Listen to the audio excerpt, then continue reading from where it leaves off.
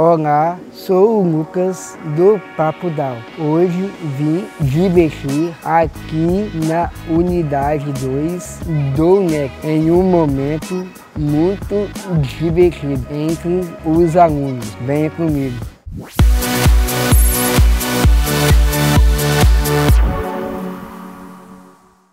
Intervalo cultural já se tornou tradição entre os acadêmicos do Centro Universitário de Caratinga, mantido pela FUNEC.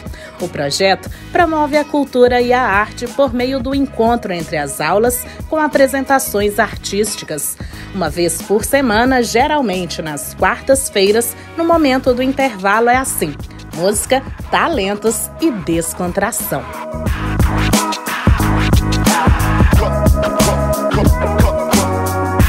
Hoje estou participando no intervalo cultural, que sempre traz muita alegria para os estudantes do ensino superior do UNEC. Agora vou conversar com alguns organizadores para saber como tudo funciona. Hoje estou aqui com meu grande amigo Celcinho. Seja bem-vindo. Seja bem-vindo para nós, né, Lu? Tudo é, bom com você? Tudo. Joia, bom te ver, né? É. Joia. Celcinho, nessa apresentação de hoje, por exemplo, você foi colaborador que você fez o contato com os cantores, não é isso? Isso mesmo, Lucão. É o seguinte, esses alunos são alunos do curso de fisioterapia do sexto período. Eu já sabia que eles eram músicos, cantavam e tocavam, até porque eles fizeram uma apresentação dentro da sala de aula, né, a respeito de uma disciplina.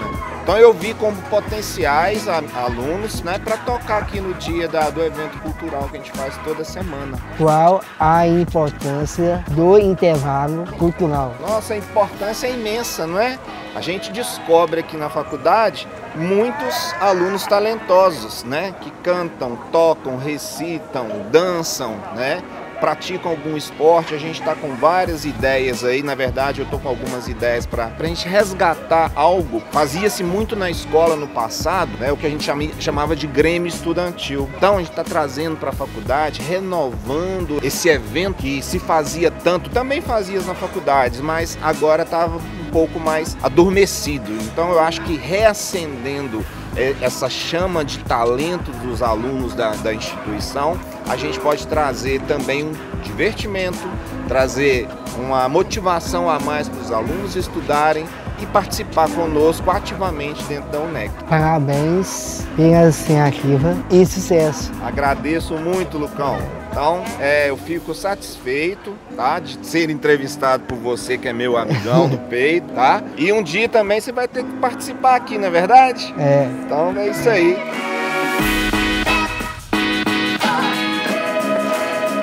Hoje estou aqui com o meu grande amigo Roger. Seja bem-vindo. Obrigado, Lu. Qual o objetivo do intervalo cultural? O objetivo do intervalo cultural é promover um momento de integração entre os alunos dos diversos cursos da faculdade e trazer para eles um momento onde eles se sentem mais alegres, um momento que eles podem esquecer um pouco das dificuldades que os cursos e a vida acadêmica impõem. Então, pelo menos uma vez na semana, um momento que promove essa, essa interação entre eles, esse, essa satisfação de estar num ambiente mais agradável que, porventura, o estresse do dia a dia acaba tirando. Então, é promover isso aí mesmo, a alegria no cotidiano. E como funciona esse projeto? O projeto funciona através da comoção aí dos alunos, dos professores e e a gente vem por meio né, de ajudas aí que a gente recebe de outros coordenadores, dos colegas professores e dos alunos, fazer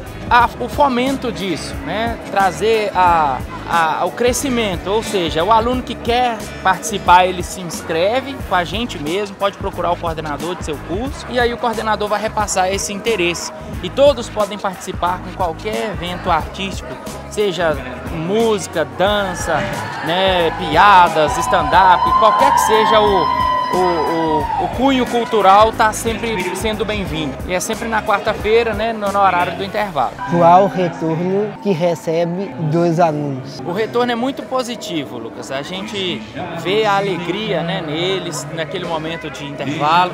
Vocês podem reparar nas imagens que os alunos vibram de, de emoção, de felicidade, de ver um colega se apresentando, ali, né, de ver que uma dupla pode estar surgindo aí, como a gente viu tantas no Brasil até hoje, surgir no meio universitário, né? A exemplo de uma das mais famosas, Jorge e Matheus, surgiu assim. Então o objetivo é esse e o retorno dos alunos é muito positivo. E vamos curtir? Vamos curtir. Hoje estou aqui com a Thaís. Boa noite.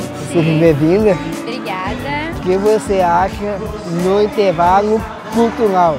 Olha, está sendo um momento muito bom. A gente está é, vindo para o intervalo, distraindo a cabeça, porque a gente sabe né, que os estudantes têm muita coisa a se preocupar todos os dias, tem prova, tem muita coisa, então é um momento de muita distração. Eu acho que está fazendo bem para todo mundo e até para conhecer novos talentos da nossa faculdade mesmo. Obrigado. Obrigada a você, foi um prazer.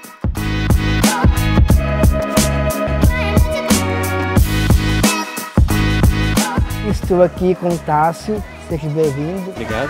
O que representa para você participar como artista do intervalo cultural? A gente está acostumado aí a vir na faculdade, ser reconhecido como um aluno, né? E aqui a gente tem a oportunidade de mostrar além, né? De mostrar um talento que a gente tem, um hobby. Para mim é, é, é, muito bom. Fala um pouco do repertório apresentado aqui hoje. A gente procurou trazer umas músicas que todo mundo conhece, de música popular mesmo, e o pessoal cantar junto e realmente ter um momento prazeroso ali na hora do intervalo para aliviar um pouco das tensões da fim de etapa, né, prova e, e outras atividades. Então é bom a gente fazer uma música para se Eu curti muito. Parabéns. Obrigado, bom que você é. gostou. Esse foi o programa de hoje. Se vocês gostaram, não se esqueçam de curtir, comentar e compartilhar. E até o próximo programa.